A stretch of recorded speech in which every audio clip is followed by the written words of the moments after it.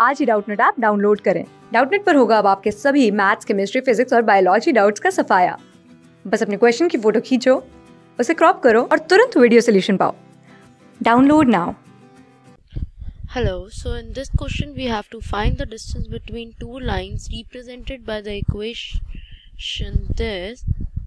So first of all we have to extract the equation of lines from this equation. So let's write down the equation first. It is 9x square minus 24xy plus 16y square minus 12x plus 16y minus 12 is equals to 0 so let's consider these three terms first.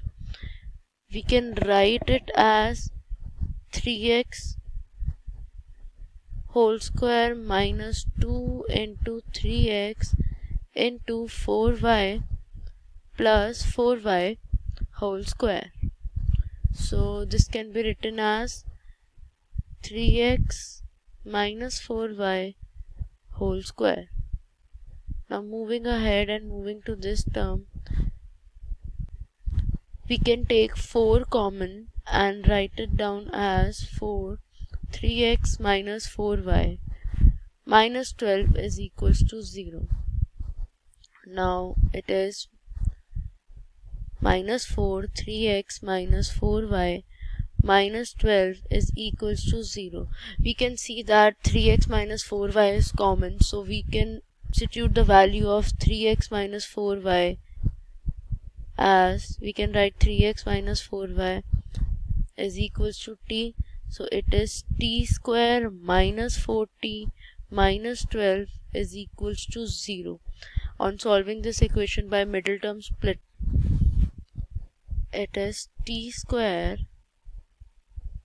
minus 6t plus 2t minus 12 is equal to 0 t t minus 6 minus 2 t minus 6 is equal to 0 so two factors will be t minus 2 and t minus 6 so two equations would be 3x minus 4y plus 2 is equal to 0 and 3x minus 4y minus 6 is equal to 0. Now from these two equations we can observe that these two equations these two lines are parallel to each other. So for the formula for the distance of parallel lines is d is equals to c2 minus c1 upon under root a square min plus b square whole modulus. So this is 2 minus minus 6 upon 3 square plus 4 square whole modulus. So the answer is 8 by 5.